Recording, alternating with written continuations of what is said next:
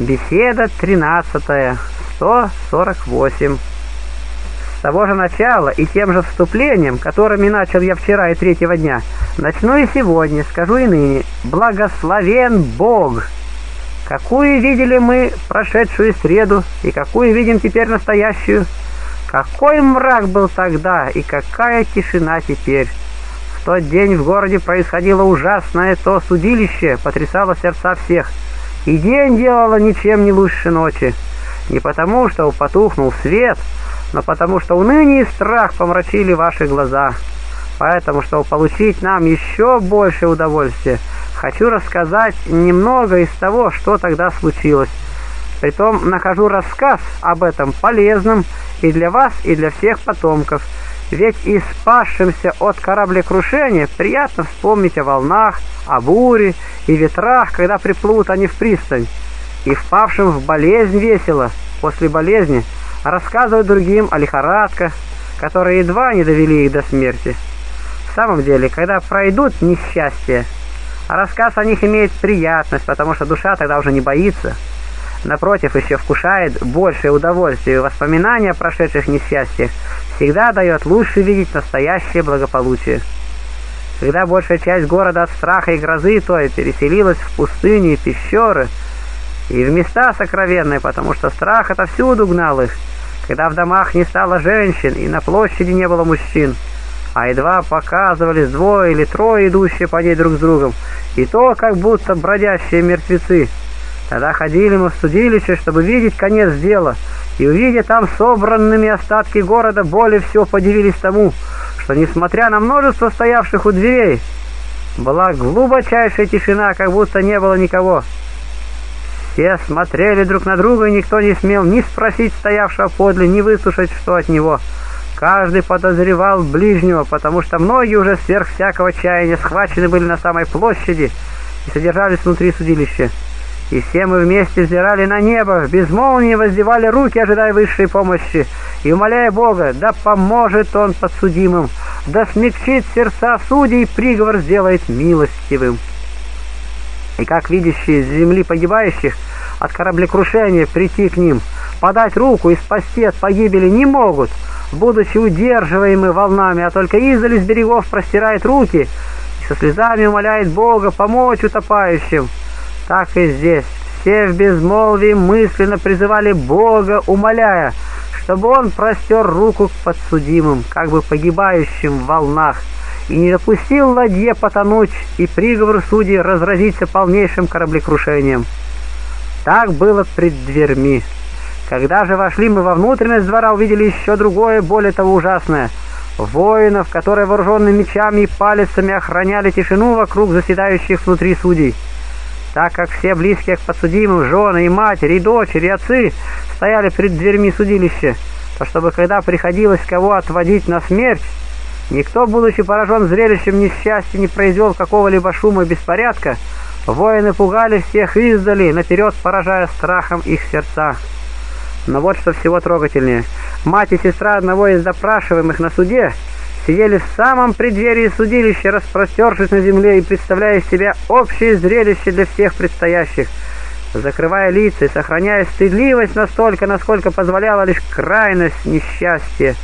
Не было при них ни служанки, ни соседки, ни приятельницы, ни другой какой сродницы, но одни в бедных одеждах среди такого множества воинов трепетали, подвергшись на земле у самых дверей, страдали больнее самих подсудимых, слыша голос палачей, звук ударов, вопли бичуемых, страшную угрозу судей. Из каждого наказываемого терпели более жесткие мучения из-за каждого, нежели сами наказываемые.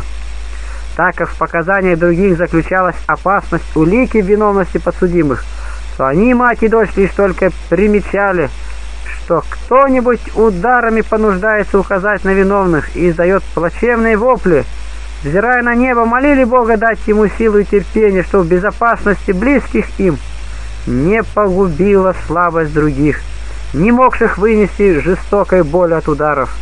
И здесь опять было то же, что с застигнутыми бурею. Как те лишь только увидят натиск воды, волны издали поднимающиеся и мало-помалу возрастающие, и грозящий потопить судно, еще раньше, нежели волна приближится, почти умирает от страха. Так и эти, лишь только слыша разносившиеся голоса и вопли, боясь, чтобы изнемогшие в пытках, быв понуждаемы делать показания, не говорили кого из их сродников. Видели пред глазами у себя тысячи смертей, и можно было видеть пытки внутри судилища и пытки вне его. Тех подсудимых мучили палачи, а этих жен и сестер сила природы и сердечное сочувствие. И внутри был плач, и вне плач. Внутри плач виновных, вне их родных. Впрочем, не только эти, но и сами судьи плакали в душе и страдали сильнее всех, будучи вынуждены производить такое горестное дело. 150. А я, сидя там и смотря на то, что и жены, и девы, не выходившие из дома, теперь сделались предметом общего зрелища для всех и почитавшие, почивавшие на мягких постелях, лежали на земле, и пользовавшиеся услугами стольких служанок, евнухов и всякой другой роскошью, теперь, лишаясь всего этого, припадает к ногам всех, умоляя, чтобы каждый помог подсудимым по мере сил своих, и чтобы от всех была как бы общая склочина милости. Видя это, я припомнил изречение Соломона «Суета-сует, все в суетах». Да, увидел я исполнившимся на самом деле как это, так и другое изречение, которое гласит «Голос говорит, возвещай!» И сказал, что мне возвещать? Всякая плоть трава, и вся красота ее, как свет полевой. Засыхает трава, увидает свет, когда дунет на него дуновение Господа, так и народ трава. Исайя 46:7. Тогда обличилось бессилие и богатство, и благородство, и знатность, и заступничество друзей и родства, и всего житейского, потому что сделанный грех и проступок не спроверг всю эту помощь. И как мать воробьев, когда похищены будут дети ее, прилетев и нашедшие гнездо пустым, не может вырвать похищенных своих птенцов, но летая около рук птицелова, выражает тем свою печаль, так делали тогда и жены те, когда дети были похищены у них из домов. И как бы в сетях и тенетах содержались внутри судилища. Они не могли подойти и исхитить узников, но выражали свою скорбь тем, что, распростершись у самых дверей, плакали и воздыхали, и старались быть близ стражи.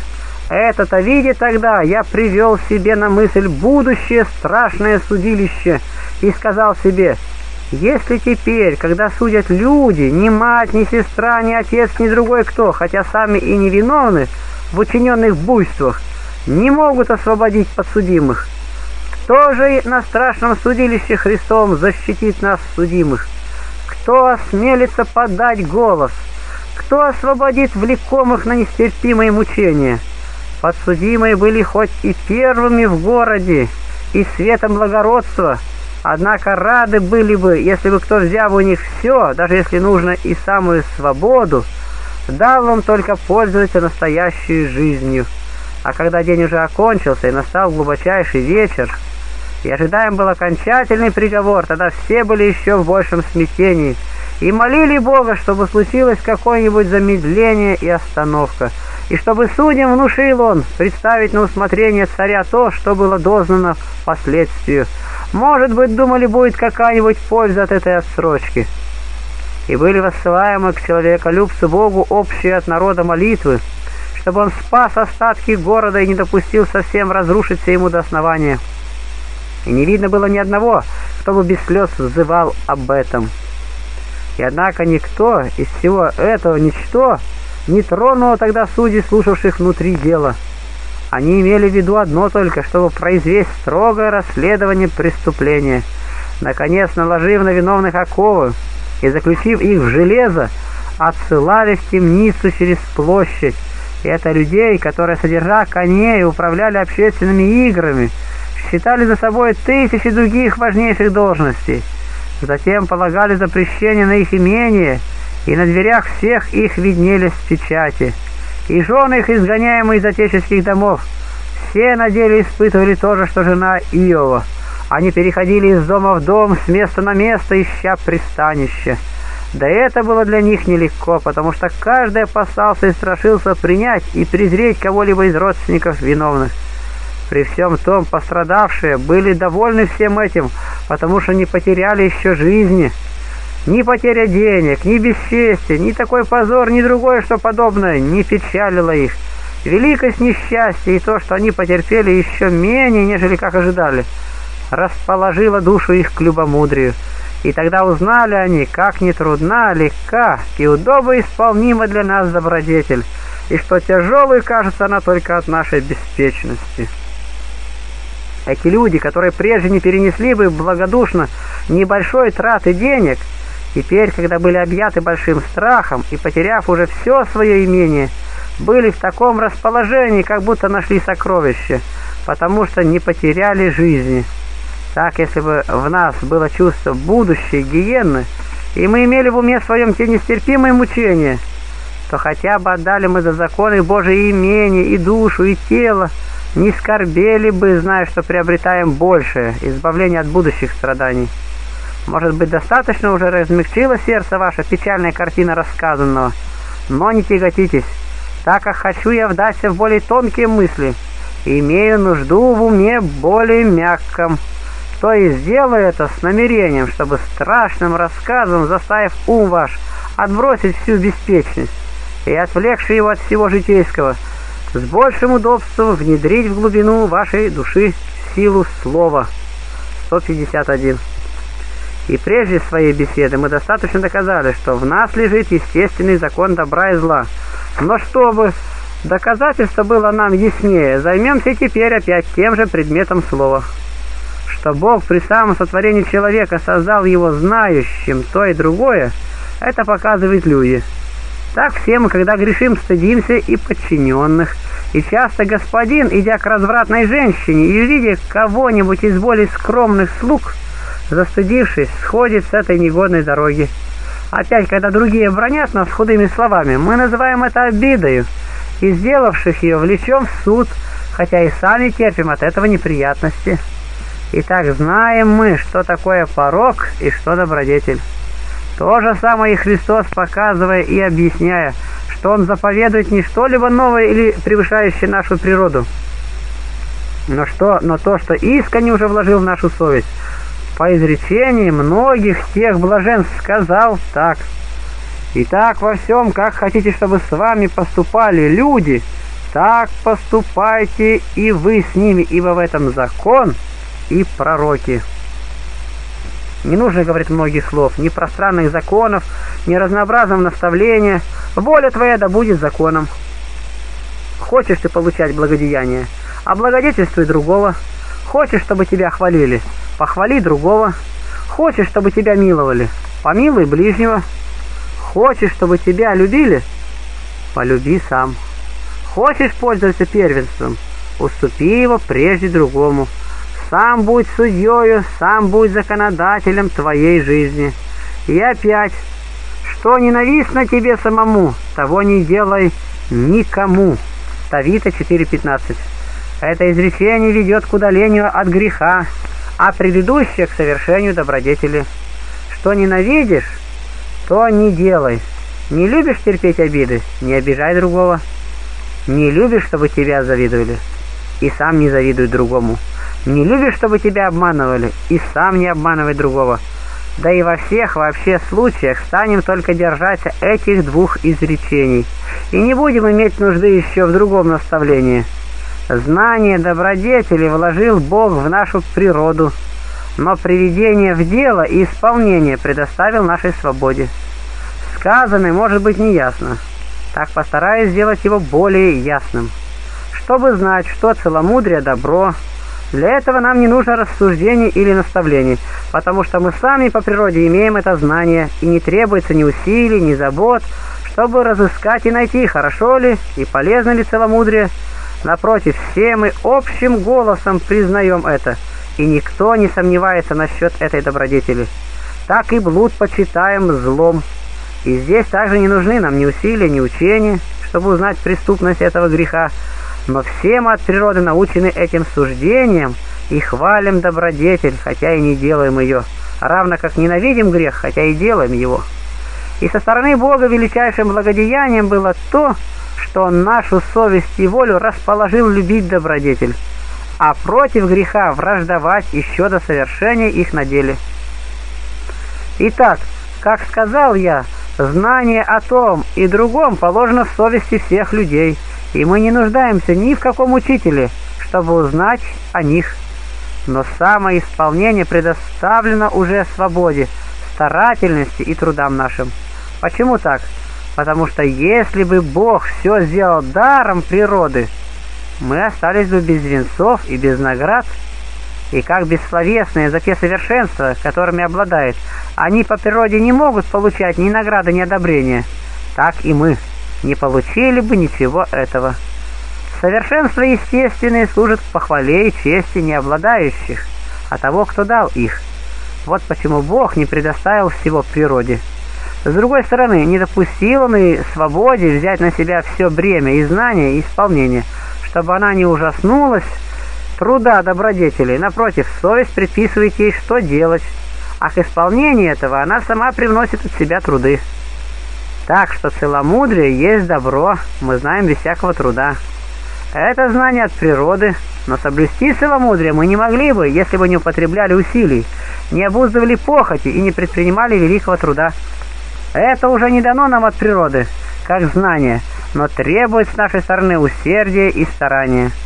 Впрочем, не этим только Бог облегчил для нас тяжесть, но еще и другим способом, допустив, чтобы из самых совершенств некоторые были у нас естественными. Так всем нам, естественно, негодовать вместе с обижаемыми.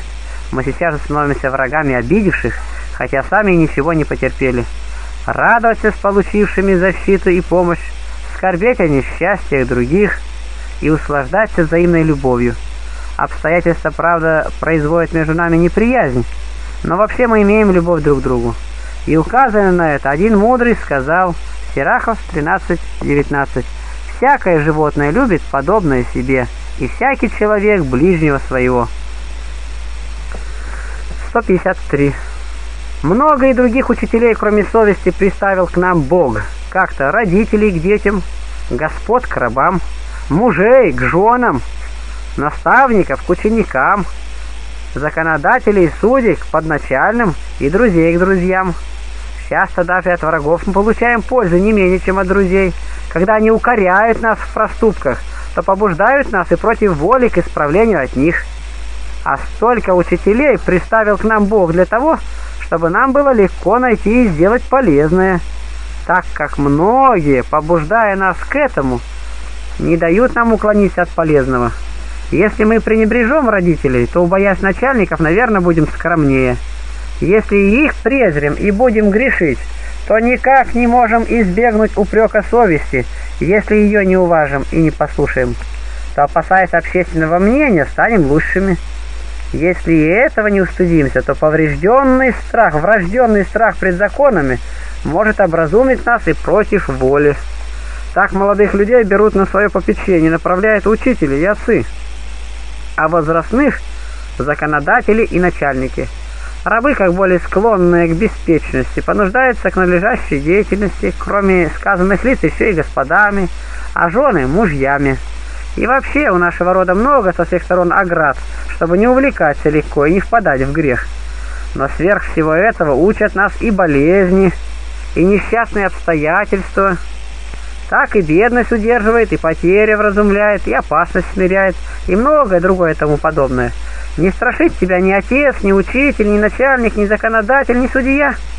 Не пристыжает тебя друг, не уязвляет тебя враг, не вразумляет господин, не научает муж, не исправляет тебя совесть. А вот приходит телесная болезнь и нередко исправляет все, также и потеря делает дерзкого скромным. Еще же важнее то, что великую приносит нам пользу не только наши собственные, но и чужие несчастья. Даже когда сами ничего не терпим, а только видим, что другие наказываются, мы вразумляемся не меньше их. Это бывает и с добрыми делами, как от того, когда злые наказываются, другие делаются лучшими. Так и тем, когда добрые делают что-либо хорошее, многие увлекаются к соревнованию им. Так случалось и с избежанием клятв. Многие, видя, что другие бросали эту дурную привычку, стали подражать их усердию и сами одолели этот страх. Поэтому тем усерднее опять беремся за то же увещание. Никто не говорит мне, что многие справились. Не это требуется, но чтобы все исправились.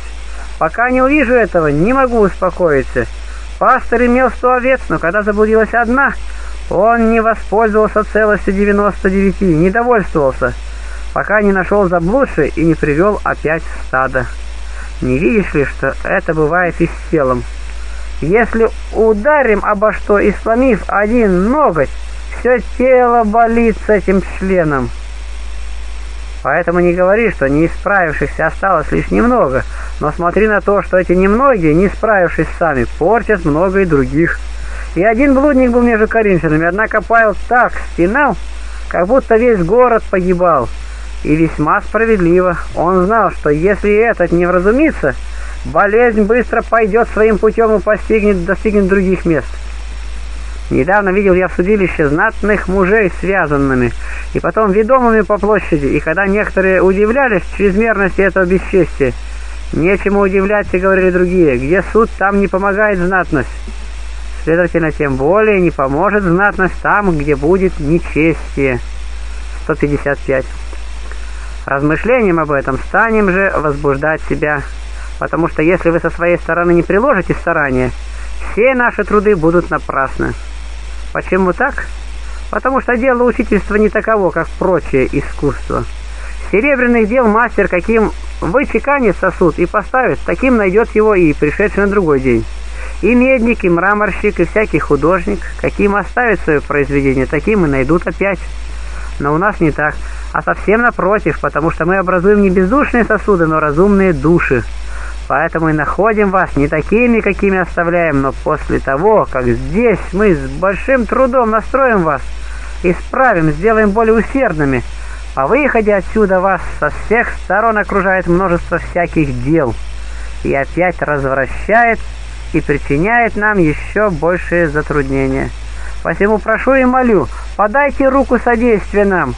И сколько я здесь стараюсь о вашем исправлении, столько же и вы, вышедшие отсюда, покажите заботливости о своем спасении. О, если бы возможно было мне за вас делать доброе, а вам получать награду за добрые дела. Я и не беспокоил бы вас так, но что делать? Это невозможно. Господь воздаст каждому по делам его. И вот как мать, видя дитя в горячке, став при нем, когда оно мучится и горит, со слезами говорит нередко к больному дитяти, «О, если бы возможно было мне, чадо, взять на себя твою горячку, и на саму себя перенес этот жар». Так и я говорю теперь, «О, если бы возможно было мне за всех вас потрудиться и сделать добро». Но этого нельзя, нельзя а каждому необходимо самому дать отчет в своих делах, и не видно, чтобы один наказываем был за другого. Поэтому скорблю и плачу, что когда в тот день вы будете осуждаемы, я не буду в состоянии помочь вам, да и нет у меня такого дерзновения к Богу. А если бы и было у меня дерзновение, так я не святее Моисея и не праведнее Самуила, о которых, хотя они достигли столь высокой добродетели, Бог сказал, что не могут нисколько пособить иудеям, потому что сам народ предался великой беспечности. Иеремия 15.1. И сказал мне Господь, хотя бы предстали пред лицом мое Моисей и Самуил, душа моя не преклонится к народу сему, отгони их от лица моего, пусть они отойдут. Итак, по елиху мы за свои дела и наказываемся, и спасаемся то постараемся, умоляю, исполнить вместе со всеми прочими и эту заповедь, чтобы отошедшие отсюда с доброй надеждой получить нам обещанное благо по благодати и человеколюбию Господа нашего Иисуса Христа, через которого и с которым слава Отцу со Святым Духом, ныне и присно, и во веки веков. Аминь.